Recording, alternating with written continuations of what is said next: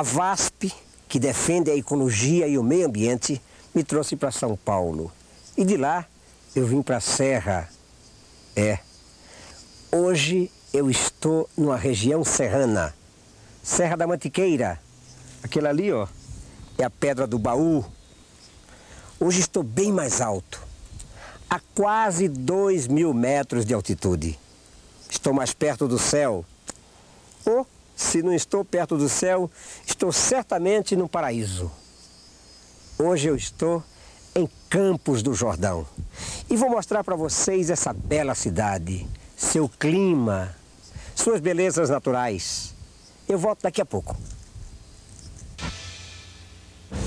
Campos do Jordão está localizada na Serra da Mantiqueira, a uma altitude de 1.700 metros.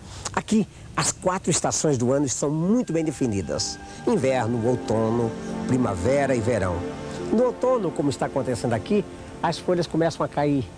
Vejam essas árvores, plátanos, de origem canadense. As folhas já começam a amarelar. No verão e na primavera é tudo verde. Um outro detalhe, Campos do Jordão, segundo a Unesco, tem o melhor clima do mundo.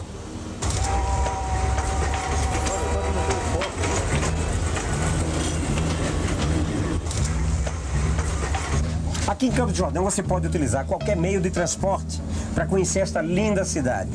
Você pode ir de carroça, pode ir de cavalo, de carro e até de bondinho. O passeio mais romântico é aqui, nesse bondinho. A gente sai daqui, dessa estação de Capivari, e vai até São Cristóvão, do outro lado da cidade. E corta toda a cidade conhecendo bairros, natureza, verde e um monte de coisa. Vou mostrar tudo isso. No bairro de Capivari é onde se encontra o centro turístico, com algumas construções em estilo normando e que chamam a atenção de todos. Tem lojas onde se vende chocolate e principalmente malhas. Mas cuidado, os preços são altos em Capivari. O negócio é andar um pouco mais e visitar o comércio da Abernécia, onde você compra malhas pela metade do preço. Notadamente as lojas que ficam quase em frente à estação do trem. Você pode conhecer aqui algumas belezas naturais, como o Parque Estadual de Campos do Jordão, com sua linda reserva florestal e tendo como atração maior a criação de trutas num lago artificial, especialmente construído para isso. Águas, cachoeiras, escorredeiras. Toda cidade serrana que se preza tem que ter. Campos do Jordão não poderia ser diferente. Também tem as suas. Essa aí é a escorredeira do parque, um recanto muito bonito. Em Campos de Jordão tem também o Palácio do Governo, residência oficial do governador quando ele vem aqui.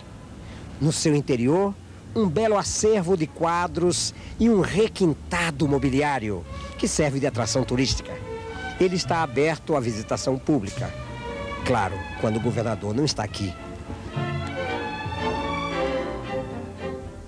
E no meio dessas araucárias, árvores que simbolizam a cidade de Campos de Jordão, o único museu ao ar livre do Brasil. Ao lado do museu, o auditório onde se realiza todos os anos o Festival de Inverno. Este museu é constituído por 100 peças da artista Felícia Leiner. São figuras zoomórficas e humanas, gigantescas imagens brancas que nascem da grama para estabelecer uma comunhão perfeita com a paisagem natural. E em meio a tanta vegetação, envolvido nas esculturas de Dona Felícia, esse lírio do campo, um tipo especial, inédito. Um só pé, 28 flores. Que beleza!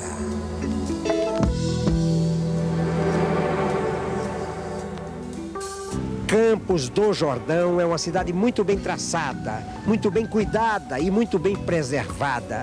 Suas construções não agridem em nada a sua paisagem. Pelo contrário, elas se amoldam ao quadro bonito que se forma em toda a sua extensão. As construções, até mesmo de hotéis como esse aí, o Orotur, obedecem a um esquema que possibilita ressaltar o verde. Gostei da cidade. E clima. Que belezas naturais.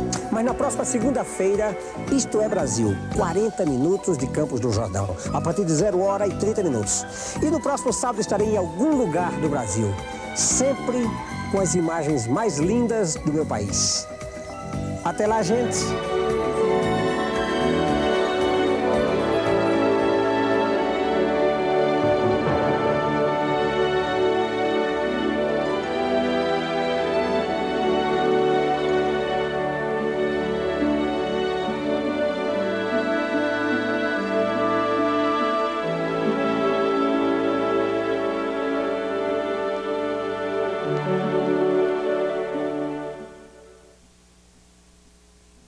Isto é Brasil. Oferecimento VASP. Viaje bem, viaje VASP.